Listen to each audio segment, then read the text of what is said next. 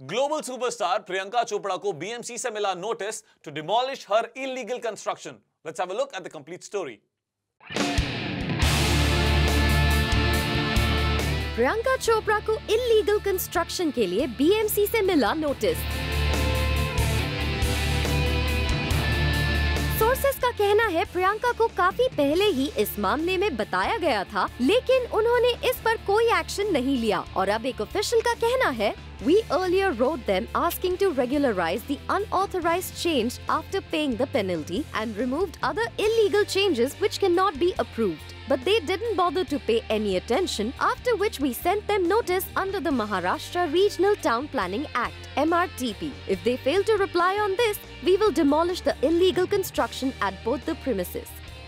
इस मामले में हमने प्रियंका की टीम से उनका ऑफिशियल रिएक्शन लेने की कोशिश की लेकिन उनका कोई रिएक्शन हमें नहीं मिला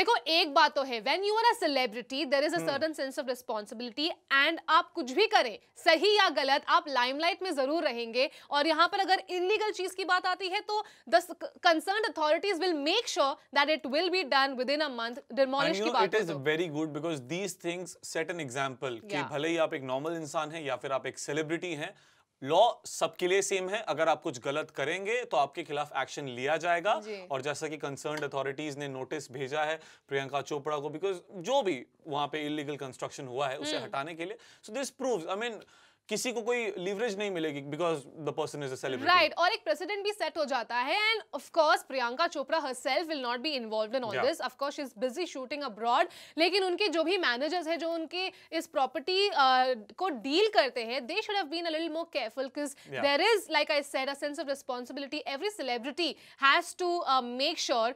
it's guarded तो अब देखते हैं within a month if this is going to be demolished और by the concerned authorities or Priyanka Chopra's manager themselves do it. We'll wait and watch.